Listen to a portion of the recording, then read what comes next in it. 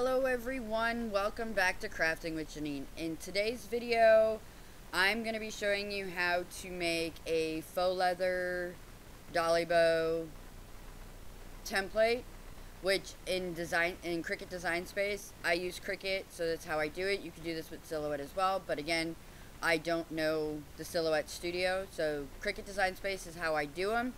You can do this one of two ways. You can do it to either cut your actual material out with your Cricut, or you can use it to make your templates and cut templates like I do. The same process is exactly the same. So in previous videos, I showed you how to upload and clean up a, an image and how to make SVG files. So I will link those in the description below for you to go check those out. I didn't want to bore you again with that since I've already shown you how to do that or how I like to do that, should I say. So I'm just going to jump in and show you how I do the bows. So this right here, uh, I think it's this one. One of them's a regular one, and one of them's an SVG file. We'll find out real quick. So I've already made my SVG file, which is this one. So I did pick the right one. So this is my SVG file, and how it'll come when you make it, like when you find your image and that on the internet. Well, I'll open that up real quick and just show you how I search them out. Is my computer likes to be a little testy. So I just search faux leather bow, if I could spell correctly. See right here, faux leather bow template free. And then I go to my images, and then they pop up like this. The best ones are ones that are look like this. So when you highlight them, they pop up, and you just right click, save your image as, and then it goes to wherever you have it to save in that folder, and then you go and you do the steps to turn it into an SVG file. Super easy, super simple, and there's so many different designs. Like there's this one, there's that one, I mean, there's so many of them, and it's so easy, like a butterfly and that. So I'm going to show you the one that I have up on my screen. So I'm just going to close out this. So I've already have my SVG file. So how I like to do this is I will ungroup, because when you do it as, as an SVG, it's grouped. So if I try to, to do one individual thing, it's going to do it as the same. So I want to ungroup them. And then this little piece right here is meant for the center wrap. I don't cut that out with my machine because I cut my bows by hand and there's always so much leftover material that you can make your own little wrap around the center. So I just get rid of that one. So I start with the bow part and there's many different bow styles here like you saw in the last screen. So basically what I do is I don't mess with, I like my bows going up and down, but in the first place because the way I cut them out. So I don't mess with the width at all, and I leave my aspect ratio the same so that the proportions of your bow are going to be right. So all I do is change this. So I'm going to change my height, and I'm going to do a 6-inch bow. So it's like that. And for this, without changing the, the width and the aspect ratio, how I get this to equal up to this is I'm going to kind of look and I want, I'm going to show you real quick turning this white so that you can see it. So I'm going to take this and I'm going to set that, move it to the front.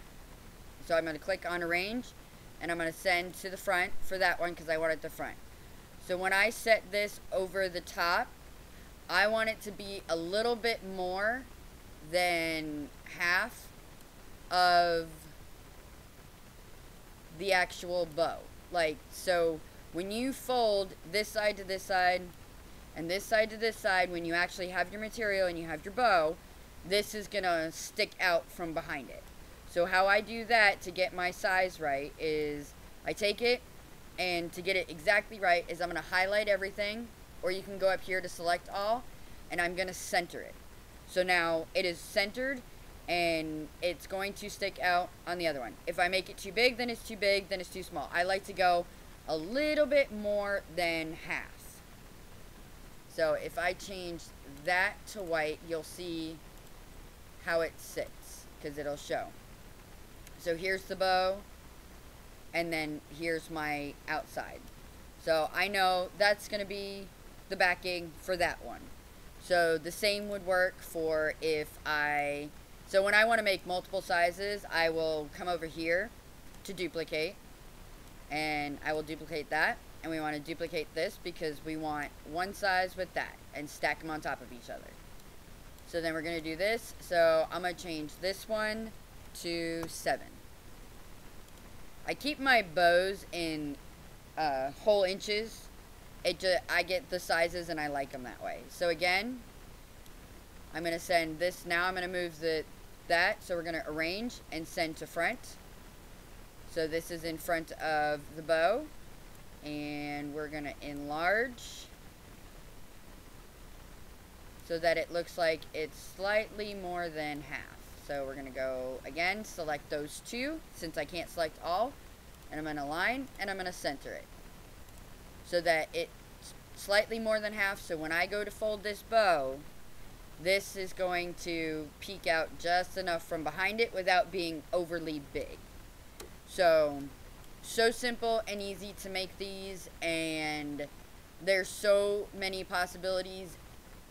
If you're in my Facebook group already, then you know that I make, I have cut and made a bunch of templates for people who do not have a cutting machine themselves. And that offer is still available if you do not have your own machine to cut them. But if you do and you have Cricut, I'm sure you could do the same basic idea with Silhouette Studio. Like I said again, I just use Cricut. So this is how I cut mine. I cut mine to be templates because I don't I don't want to kill my blades by dulling them super fast with the material. The leather, not so much, but the glitter canvas tends to be harsh on your blade and it's going to dull your blades faster, so you're going to go through more blades. So that's why I prefer to cut templates because I have multiple different scissors and I have scissors for different things. I'm kind of weird like that. So I have one just to cut my glitter canvas because the scissors that they are. So, I hope you guys enjoyed this video. It was pretty short and sweet, but to the point. So, I'm going to go ahead and save my project. So, since it's a new one, I'm going to save it to templates. And I'm going to save it as faux leather bow template. Yes, with E. Just like that and I'm going to hit save. So now that it's saved, it's here, and then everything over here. So I could just close out and say quit because I'm done, or cut it out, whatever I want, and then we're all good to go. So again, I hope you guys enjoyed this video, and don't forget to hit thumbs up and subscribe. All the links will be in the description below, and as always, happy crafting!